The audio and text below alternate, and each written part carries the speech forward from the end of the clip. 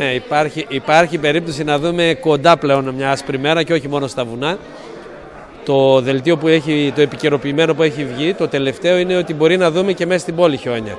Αυτό βέβαια ακόμα είναι σε εξέλιξη. Εκείνο που έχω να πω στους πολίτες είναι να αποφύγουν τις άσκοπες μετακινήσεις και ιδίω οι μεγάλες ηλικίες και αυτοί που έχουν προβλήματα υγείας.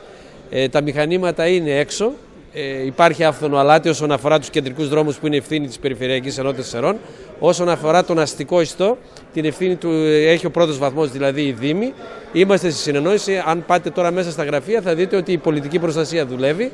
Είναι εδώ ο κύριος Αργυρίου και συντονίζει τους πάντες. Έχουμε δεσμεύσει όλα τα οχήματα των ε, ελεύθερων επαγγελματιών που έχουν τα ανάλογα και φυσικά τα δικά μας.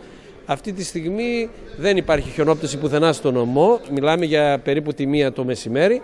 Περιμένουμε το απόγευμα, όπως σας είπα, και θα δούμε πώς θα προχωρήσει το φαινόμενο.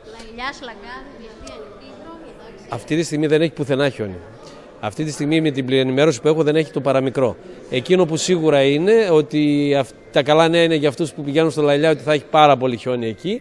Ε, σίγουρα θα χιονίσει στη γείτονα χώρα πάρα πολύ, αλλά σας λέω περιμένουμε γιατί αλλάζει κάθε ώρα. Ε, και μπορεί να δούμε και πολύ κοντά, ίσως και μέσα στην πόλη λίγο χιόνι.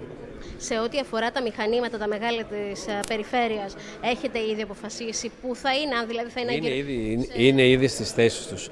Κάθε μηχάνημα, να ξέρετε, να κάθε, κάθε μηχάνημα και έχει την ευθύνη, ξέρει ο καθένας, μόνος του που θα φύγει, του συντονίζει και η τεχνική υπηρεσία που υπάρχουν κάτω αυτή τη στιγμή. Είναι όλα γεμάτοι. Έχουμε ελέγξει τους Δήμους όσον αφορά την ε, επάρκειά τους αλάτι. Έχουμε δυνατότητα να τους δώσουμε αλάτι. Ε, τα μηχανήματα είναι ακροβολισμένα στην Αλιστράτη, στην Παλαιοκόμη, στην ε, Βυσαλτία και φυσικά στη Συνδική. Μίλησα και εγώ ο ίδιος με τους αντιδημάρχους. Κάποιοι ήταν και σήμερα εδώ στη σύσκεψη. Υπάρχουν μηχανήματα αυτή τη στιγμή και θα υπάρξει και η δυνατότητα και της απάντησης. Ξέρετε ότι και στο παρελθόν μπορέσαμε και ανταποκριθήκαμε.